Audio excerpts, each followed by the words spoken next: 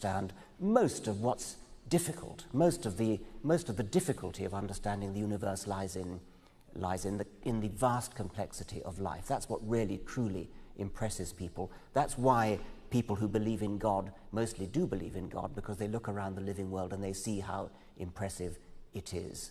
So that level of Im- impressiveness is completely destroyed by Darwin, and Darwin, of course, doesn't explain the origin of the universe.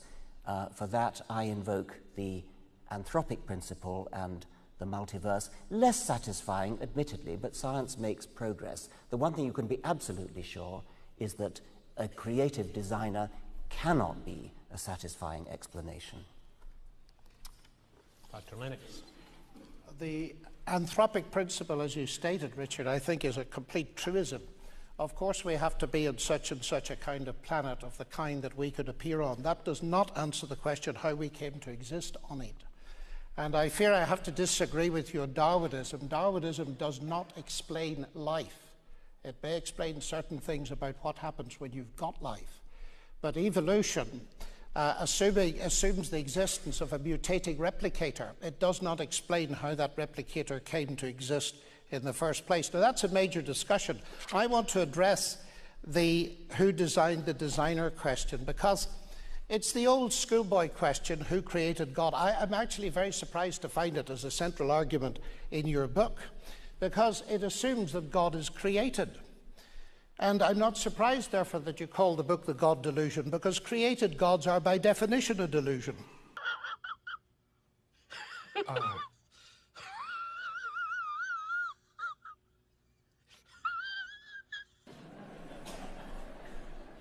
Now, I know, and I ought to explain, that Richard doesn't like people who say to him that they don't believe in the God he doesn't believe in. But I think that this is possibly touching a sore spot because you leave yourself wide open to the charge. After all, you are arguing that God is a delusion. And in order to weigh your argument, I, I said that it is you who's arguing that God is a delusion. Oh, sorry. And in order to weigh that argument, I need to know what you mean by God. And if you say, if there is a God, you have to ask who created God, that means that you're reduced to thinking about created gods. Well, none of us believe in created gods Jews, Muslims, or Christians.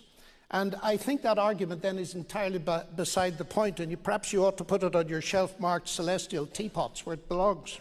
Oh!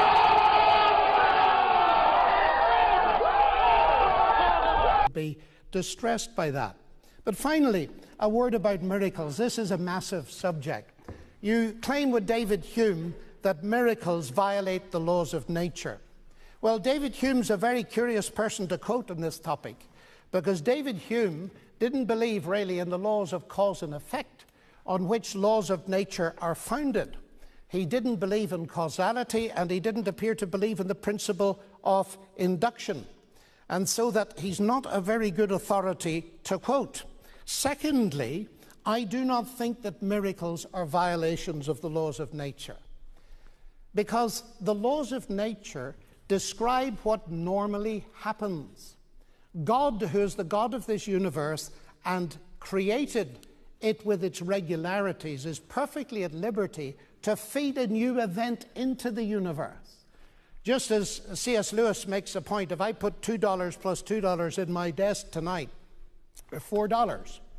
If I find in the morning there are, is $1, I don't say that the laws of arithmetic have been broken. I say the laws of Alabama have been broken. What?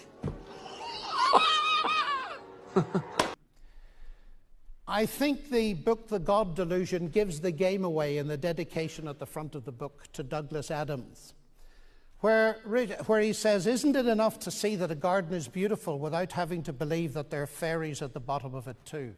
Now, you do a brilliant job at getting rid of the fairies, though it must be said that most of them didn't believe in them anyway.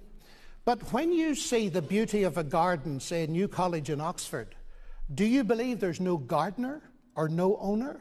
That its sublime beauty has come about from raw nature by pure chance? Of course not. For gardens are be, to be distinguished from raw nature by the operation of intelligence.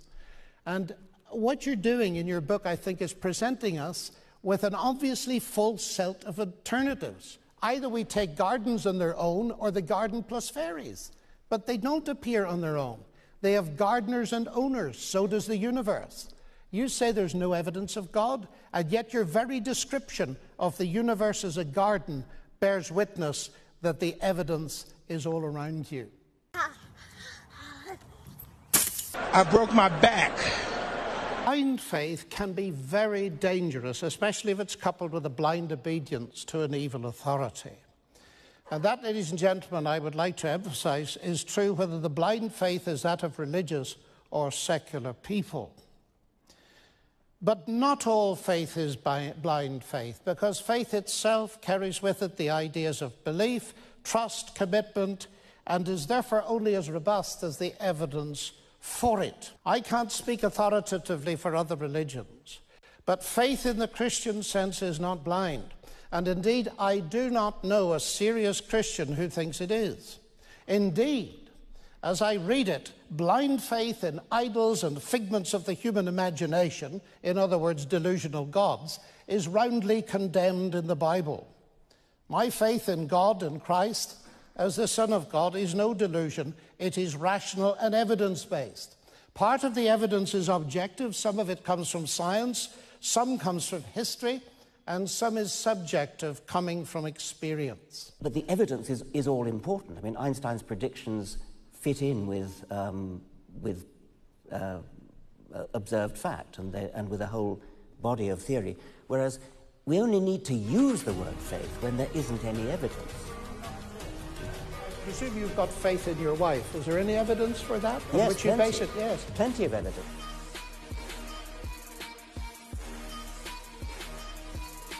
Um, mm.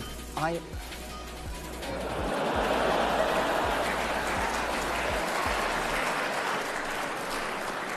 Let's generalize it. Never mind about my wife. Let's generalize.